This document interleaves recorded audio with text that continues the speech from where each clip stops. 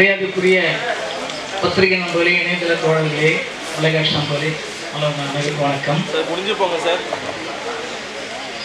கடலில் கட்டுமரமாய் இந்த படத்தின் ஆடியோ நிகழ்ச்சி மரியாதைக்குரிய முன்னாள் சட்டமன்ற துணை சபாநாயகர் வி. பி. விவசாயம் சார் அவர்கள் தலைமையில் நடந்து கொண்டிருக்கிறது.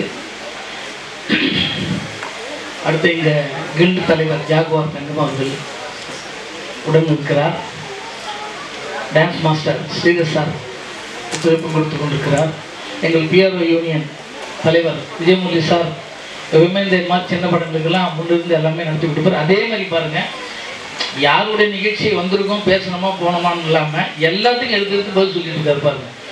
தொகுத்து வழங்குறவங்க தடுமாறுறாங்கன்னு இவர் எடுத்து வாங்கி அதெல்லாம் எடுத்து சொல்லிட்டு இருக்காரு. எப்பவுமே எல்லா நிகழ்ச்சியுமே அவர் அப்படிதான் பண்ணுவார்.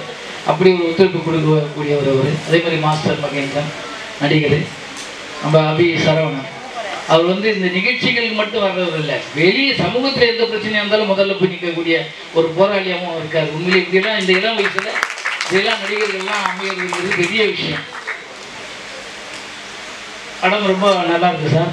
நல்லா பண்ணியிருக்கீங்க பாட்டெலாம் ரொம்ப நல்லா இருக்கு. மாஸ்டர் நல்லா பண்ணியிருக்காரு அந்த பாடல். நல்லா இருக்கு சார். பாட்டெலாம் ரொம்ப நல்லா இருக்கு.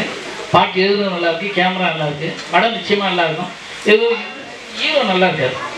இருபது நிச்சயமாக நல்ல ஃபியூச்சர் இருக்கு. ஹீரோ நல்லா பண்ணிருக்காங்க ஹீரோ இன்னொரு இருபது ரெண்டு பேருமே நல்லா பண்ணியிருக்கேன் டெக்னீஷியன் ஒர்க்லாம் நல்லா இருக்குது இந்த படம் நல்லபடியாக போகணும். பெரிய அளவுக்கு வெற்றி பெறணும். இந்த சினிமாவை நம்பி வந்தவங்க எல்லாருடைய வாழ்க்கையிலையும் நல்லபடியாக இருக்கணும்.